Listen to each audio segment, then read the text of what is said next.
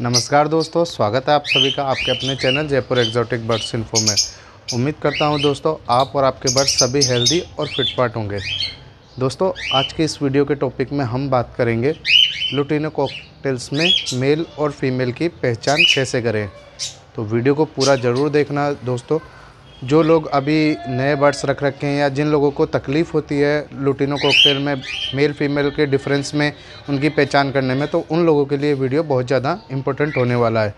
तो वीडियो को पूरा ज़रूर देखना। जो लोग मेरे चैनल पर नए हैं, उन लोगों से रिक्वेस्ट है कि प्लीज़ मेरा चैनल सब्सक्राइब कर लीजिए, ताकि ऐसी इन्फॉर्मेशन वाली वीडियो आप लोगों तक पहुँचती रहे। तो चलिए दोस्तों, वीडियो को शुरू करते हैं। सब्सक्राइब कीजिए जयपुर एक्जोटिक बर्ड्स इन्फो को और दबाइए बेल आइकन को ताकि आप लोगों को सारी नई वीडियो का नोटिफिकेशन मिलता रहे।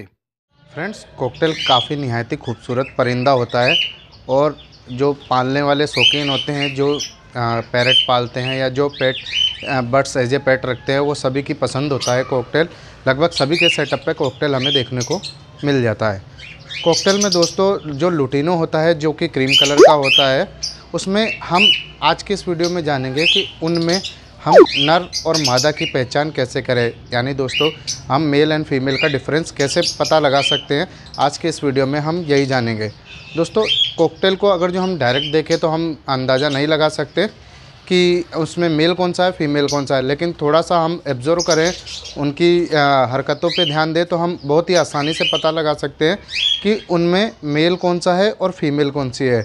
दोस्तों, जो सबसे बेसिक जो चीज़ होती है कॉकटेल में, वो होती है कि जो मेल होता है दोस्तों, यानी कि जो नर होता है, वो विसल करता है। यानी कि जब आप उसको एब्ज़ॉर्व करेंगे, जब वो फ्री टाइम में होगा तो आप देखेंगे कि वो बहुत अच्छी विसलिंग कर रहा है और बहुत अच्छा सीटियाँ बजाएगा तो वो मेल निकलेगा दोस्तों। यदि वो नॉर्मल चिल्लाती है या नॉर्मल बोलती है तो दोस्तों, और वो विसल नहीं कर रहा है तो वो फीमेल है। दोस्तों, आप लोगों को कॉकटेल की जो नर और मादा का पता लगाने का सही जो समय होता है, वो नौ महीने से ऊपर का होता है। यानी कि दोस्तों, आप नौ महीने से लेकर बारह महीने के बीच में आप कंफर्म कर सकते हैं कि नर कौन सा है और मादा कौन सी है।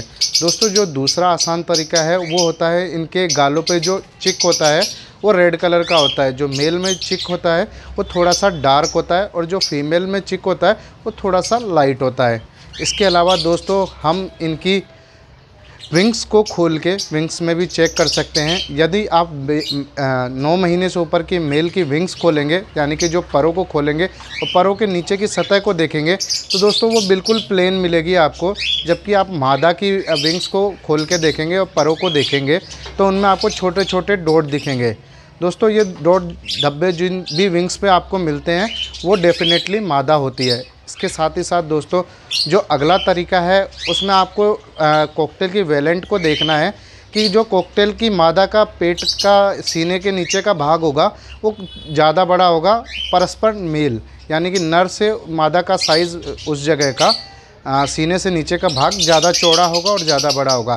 इसके अलावा दोस्तों मेल थोड़ा सा कम आ, क्रीम में जो थोड़ा सा कम येलोनेस होता है और मादा के चेस्ट और पूँछ के पास की जो येलोनेस होती है, वो बहुत ज़्यादा होती है। इसके अलावा आप मादा की पूँछ को एब्जॉर्व करेंगे तो आप देखेंगे कि मादा की पूँछ के पे भी डोट आएँगे, पूँछ के परों पे भी डोट आएँगे, और साथ साथ में उस जगह वेलेंट के जो पार्ट है, वहाँ पे येलोनेस ज़्यादा होगी, जबकि मेल के वहाँ पे बिल्कुल क्रीम कलर का होगा, बिल्कुल साफ़ होगा वाइट कलर सा दिखेगा आप लोगों को।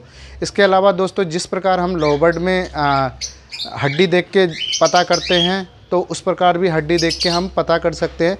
लेकिन दोस्तों कोकटेल में हड्डी देखते टाइम आप लोगों को एक बात का विशेष ध्यान रखना है कि कोकटेल की हड्डी बहुत नाजुक होती है तो बहुत ही एहतियात से पकड़ के और बहुत ही आराम से आप लोग उनकी हड्डी को चेक करें। यदि हड्डी में थोड़ा सा आपको गैप दिखता है, यानी कि हड्डी चुपती नहीं है और खुली खुली हड्डी दिखती है तो दोस्तों वो होती है मादा। यदि हड्डी बिल्कुल पास पास होती है और वो हाथ, हल्का सा हमें हाथ लगाने पे हमें चुपती हुई दिखती है तो दोस्तों वो होता है नर। लेकिन दोस्तों, इसमें कई केस में ऐसा होता है कि जब आप कम उम्र में पता लगाते हैं तो आप हड्डी के द्वारा नहीं पता लगा सकते कि नर कौन सा है, मादा कौन सी है। तो एक मुकम्मल एज होना ज़रूरी है कॉकटेल का। नौ से बारह महीने के बाद ही आप विंग्स देख के और हड्डी देख के पता लगा सकते हैं। बाकी दोस्तों, आप एब्जॉर्व करके भी पता लगा सकते हैं। छः से सात महीने में जो नर कॉकटेल होता है, नर होता है, वो विस्लिंग करने लगता है। वो ज़्यादा एक्टिव होता है केज में, पिंजरे में, मादा से, परस्पर मादा से ज़्यादा एक्टिव होता है। तो जो दोस्तों, इन छोटी छोटी बातों का ध्यान रख। के आप अपने कॉकटेल में ये आसानी से पता लगा सकते हैं कि नर कौन सा है, मादा कौन सी है। उम्मीद करता हूँ दोस्तों, मेरा वीडियो आप लोगों को पसंद आया होगा। यदि वीडियो पसंद आया है तो लाइक और शेयर करना ना भूलें। आप मेरे चैनल पर नए हैं तो सब्सक्राइब ज़रूर करें। मिलते हैं एक नए वीडियो, एक नए टॉपिक के साथ। जल्द ही आप लोगों से।